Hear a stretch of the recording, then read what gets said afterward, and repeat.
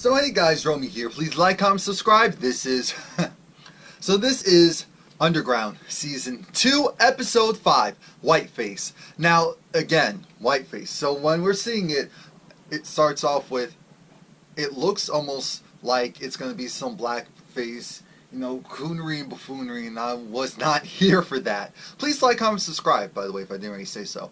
Uh, I wasn't here for that. What ends up happening is we have all of these rich, highfalutin white people come into the room. It seems to be okay, right? Seems to be okay. Well, now this uh, black person comes out in whiteface, and they're looking at him like, huh? But then he starts joking around, and he's saying, you know, he's pretending to be the master, and the thing is that it goes south because he talks about how, oh, he's trying to go and have sex with this lamb. And they're looking at him like, Oh, okay, well, that's still, the joke is still kind of funny in general. It switches from that to now there's more of them, and more of them are talking about how, you know, uh, we need to go, and it's a free country, and our inhibitions are loose here, and so it was like men with men, everyone doing whatever they want. Now, mind you, these are black people in whiteface. So the white audience wasn't happy about that. The white audience got up in their highfalutin, oh my word, oh my stars and garters. They got up and left, and we heard this one person laughing, this one person cackling actually, and it was Cato. Cato was the person who set it all up. And because we know Cato has a lot of money, so he set up this play. Now, uh, we see Georgia. Georgia, she's doing stuff downstairs. We see the abolitionist men talking, uh, you know, part of the sewing circle. They are about action. They want to go and follow more so because there's this abolitionist, John. And John, he's on this mantra of you need to be physical, you need to fight, you need to go and take the battle to them. And that was his name, John Brown, I believe. But yeah, and the thing is, Elizabeth is hearing this because remember, she's still trying to decide for herself if she wants to more so be a pacifist and kind of help with her words, or does she want to go and take action? The thing is, Lucas wants to take action. Lucas is all about taking action. We hear all this ruckus, and apparently they're after Georgia. So they go and they take Georgia. Georgia tells Elizabeth, go into my, uh, what is it called? Go into my desk, get out this piece of paper, bring it down to the station. It's in the black envelope. Only you. Now, of course, uh, Elizabeth has stopped. She was trying to go and make sure that Rose was fine. Rose is new to this, so she goes and she hides inside the wall. She hides inside the wall because Rose is not playing around. She did not come this far just to get caught up. And the thing is, their whole operation is going to be messed up. So now uh, that's why Georgia was like, okay, let's go and leave, because they're checking. They figured, uh, uh we, we found out some information. This place is a hiding spot for slaves. Now, we see, we see our girl, Lady E is what I'm calling her. Actually, no. Ernestine kind of, she's kind of becoming Ernestine again. She started to become Ernestine again, so I'll give it to her.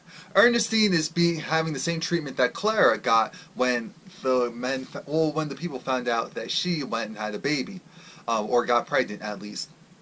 Now, Ernestine, remember, she tried to kill herself, and they know that she was on that mess. And Ernestine just told them off. She was essentially like, screw off. Half of you guys do the same thing as well, so I don't understand why you're trying to go and make it seem like I'm the big and bad uh, person here. Claire goes and just like, you know what? She likes Ernestine. She wants to uh, be more like Ernestine. And Ernestine's like, no, no, no. Well, is it true that you were with your, um, you were sleeping with your master? So it's like, yeah. So what happened to your kids? Uh, yeah, my daughter, no, slavery. My daughter ran away. Son in slavery. Here's the thing. Clara wants to go and, you know, have Ernestine mentor her. Because Claire wants to get close to the uh, slave owner so that she can kind of become the Ernestine of that plantation. Oh my Lord Jesus. This is all too much. We see this party, and I'm trying to figure out, okay, so what's going on here?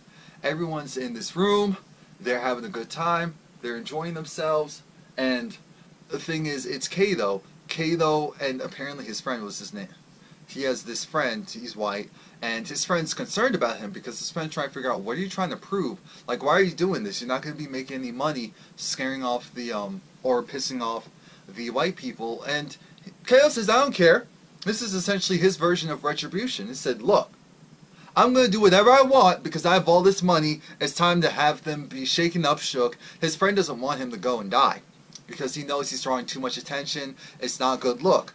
Now Elizabeth goes down to the courthouse. She gets Georgia. They're coming back, and Georgia tells Elizabeth, "Don't tell them anything." What? Yeah, don't tell them anything. The issue is that Georgia is the um, slave that got her free papers. So Georgia has been praying around as I don't know how you can look at her and say, oh, she's white. I know she's something else aside from white. I said, come on now, come on now. But most people, she's been able to get away with passing for white, if you will, but she's not. She's actually a freed slave. And she doesn't want the movement to know about it because she's like, she's surrounded by all these men, all these people who, if they knew, then it would go and detract. If they knew, it would make things harder the men who took her in the first place are saying they know who they are, know who she is, they know what she is. So essentially now she can't hide. Now they're going to be watching her like a hawk. They have to go and get a new location, get a new hiding spot because now that place is compromised and now it's under the evil, watchful eyes of those people. We see August. August essentially is being interrogated by Patty. Patty is trying to go and enlist August, and he's trying, and she's trying to bait him. Essentially, say, you know what? Your son was killed. Your son was killed by who? By Black Rose. Yes, by Rosalee. And the thing is, why wouldn't you want to go and help me out? See, the thing is, Patty is at a crossroads. She needs help, but she can't act like she's at a weaker vantage point. So now, like I said, Rosalee, she escaped harm because she hid. Elizabeth comes back, and Elizabeth and Rosalee needs to have a conversation. Elizabeth tells her, "Look, I understand what you're trying to do, but because Rosalee is saying, you know, it's about my family. I want to make sure that everyone's good. I want to make sure that I go back for my mother, for my brother. I need to be strong because I am strong." Elizabeth says, "That's all well and good, but how can you tell me about the baby? Because I know you wouldn't have gone and um, you will try to stop me." Yeah, of course you would, Rosalee because she she's trying to let you know that even though you don't feel like you have family, you do. That family is right there in your stomach, and if anything happens to that baby, then what? All none of it will matter. So now Ernestine is talking to Clary, and she's you know dolling up her hair, and she's trying to let her, uh, Claire Claire know that here's the issue: you talk too much. These men want to feel big and powerful and useful. You need to go talk less Find something that the two of you have in common, focus on it, and that's how you got them. And you have to be a tease. You have to be a tease, you have to look inviting, but you have to be a tease. Remember, Ernestine knows what she's doing, but she's also every like every couple of minutes she looks like she wants to upchuck. Remember, because she's going through withdrawal from the opiates that she was doing. That's what it was. Now, uh, from that we get to August and Patty we see that the journalist is talking to August. They're trying to talk to August and say, "Oh, I know you. I know your reputation. Interesting, interesting. Um, maybe we can go and write some letters to your son." thinking, "Dang, he doesn't know his son's dead." Of course he wouldn't, because the guy was just held in prison for all that time for killing a white person. Interesting. Now, can kill all the black people you want as long as they don't have a big enough bounty, but kill one white person at that time, jail. Hmm. Not surprising.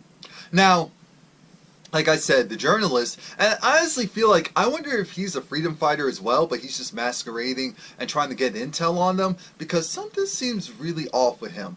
Something seems really off. He doesn't seem like a bad guy. He seems like he's actually disgusted. You can tell he does not like Patty. He does not like her at all because she's talking about the um, slaves and the black people she killed and the fact that she wants to use him to get to uh, Black Rose. They're gonna find her, and he's she's just like I need the animal. So while he's shaving, she goes she cuts his neck because she's trying to shake him. So now August is drinking again because he can't really deal with the fact that his son died, which that part makes sense. As I already told you, we have this weird issue of Georgia. She wants to make sure that the movement keeps moving forward. She's not going to go and bring more attention to her. She's going to go and pretend to masquerade as the um, white woman, or at least someone who could pass for white, and keep it moving because it just paints a bigger target on their back. It makes things a lot more difficult. Rosalee is thinking, dang, she really wants to get Noah. She really wants to find Noah. And here comes Noah. There was someone at the door, and it was Noah and they go and they're touching their each other's faces. And it, it was just a really nice scene because you could tell that they missed each other. I said this is love. This is real genuine love. And i love it. I love it. Problem is that rosalee has she's not she hasn't told noah yet about the pregnancy. And i'm skipping ahead but she's not going to. Why? Because she has a plan in mind. We see Cato, he invites all of these people, I guess you know, quiet freedom riders of sorts. And he wants money. He says, here's the thing. He tells this story about how this man shot him, uh, well, how his ex-master uh, shot him, and he was like, oh, I'm going to shoot the apple off your head. Oh, he missed. Ha ha ha, he he he. But here's the thing. Here's what they all care about. Money. Money, money, money, money, money. It's not torture. It's not vengeance. It's not pain. It's dinero. That's what they care about. So we need to fight them using that. So he invited all of these rich, black, white, you name it, people here so that he can go and get money from them. And one of the people who's there is Frederick Douglass, who, uh, of course, well known, a civil rights activist, like the man. And the thing about Frederick Douglass is that his mindset is a little different from Cato. You know, he's worked closely with Harriet Tubman, so the thing is, Cato's working with William Still, who's also a, um, a abolitionist, and he was, it's not called a bookkeeper, but kind of that. He was one of the people that would go and help get slaves to freedom right there, freedom papers and all of that. But the thing is that like I said, we have William, he's collecting everyone's money. We have Frederick Douglass, who is trying to convince Cato's like, I like you, you have potential, but you need to calm down. He's essentially like, you need to calm down. Maybe if you speak to Harriet, you could go and breathe a little bit more.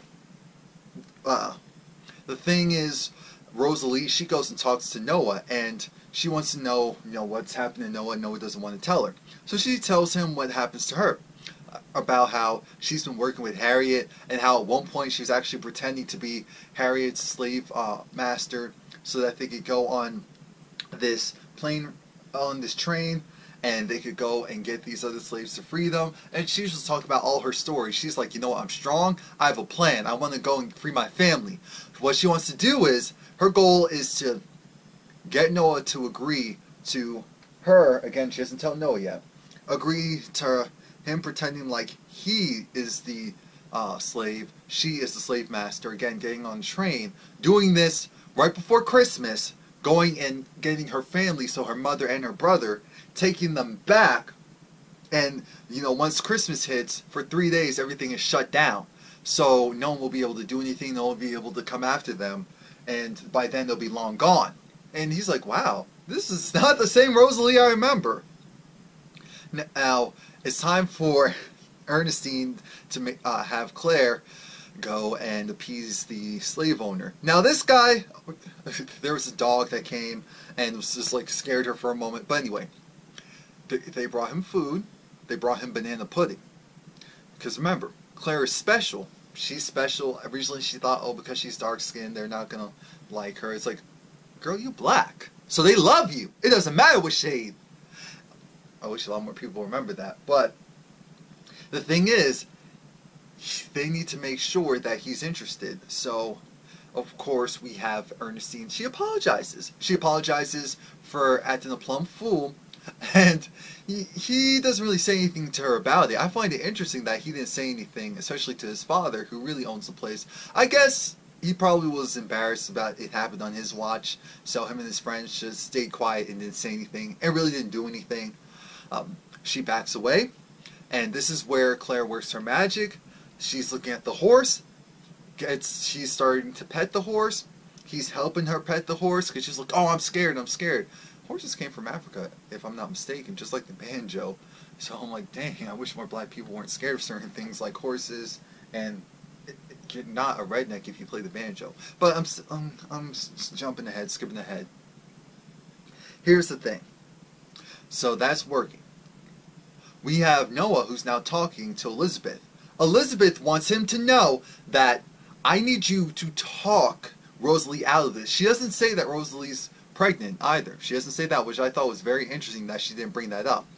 Uh, Elizabeth needs him to realize Rosalee is safer there, and because she's safer there, that's where she needs to stay. Uh, while Caleb's at his party, as I already told you he was talking to Frederick Douglass. He sees Patty and August. So he's, and his friend also tells him that we have another problem. Yeah, your girl? Yeah, your girl from overseas? She's here. She's here. She's on her way. She wants to speak with you.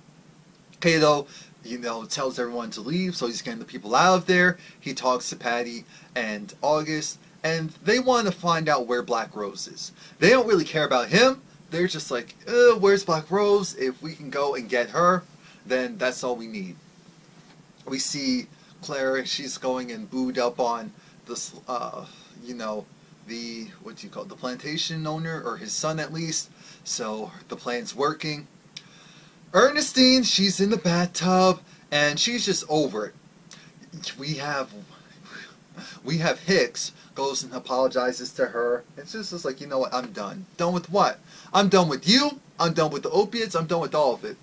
See, the thing is, I thought I believed the negative things he said about me. I believed it because I felt like I didn't deserve better. And so because I didn't deserve better, I didn't uh, go and try to get better. As a result, I ended up with you. So I'm going to go.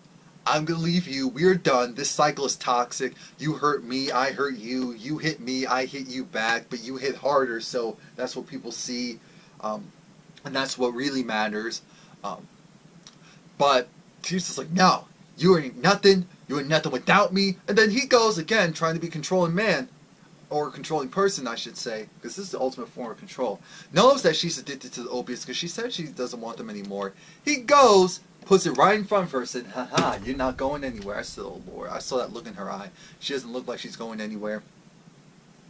We, uh, the thing is, now it's nighttime, and Elizabeth, she's with Lucas. And again, they're talking, they're doing a general chit chat.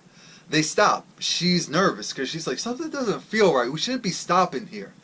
They stop and they get kidnapped. Yeah, they get kidnapped. They get brought to a separate part of the woods. And there's these wranglers who are telling them, here's the thing. They know, we know what you're doing. We know you're abolitionist. And we need you to stop. Either you stop or we kill you, torture you, rape you, you name it. She said no. At first, it almost felt like a dream sequence, as if it was a test. Because that's what I thought it was. It was a test, but a different type of test.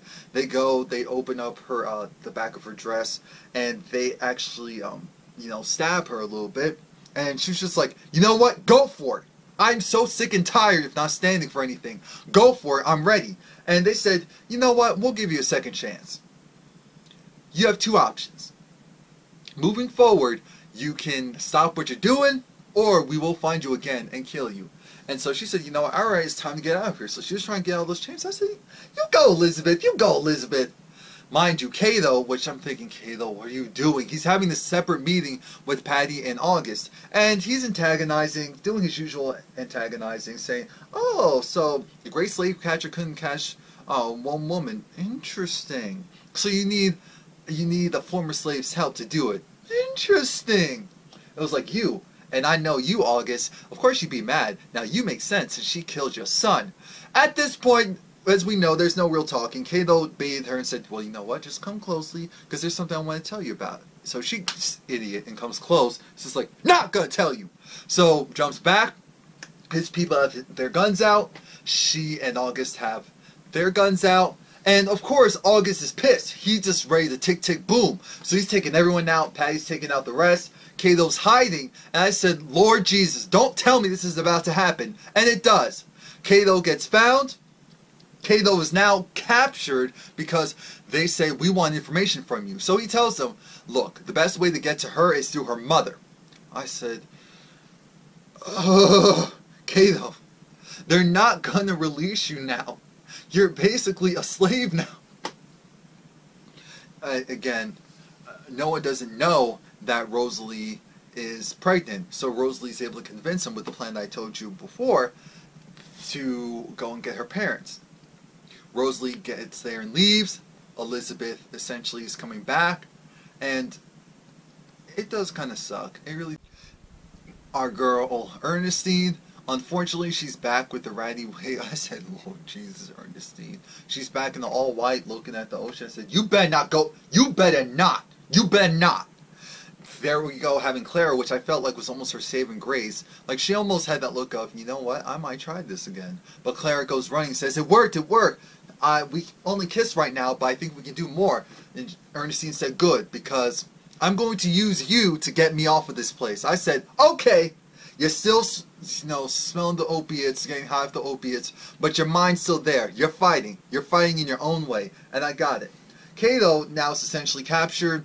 They took over his house. They're going to go and try and get his mom. So now the chase is on. Who's going to get to Ernestine first?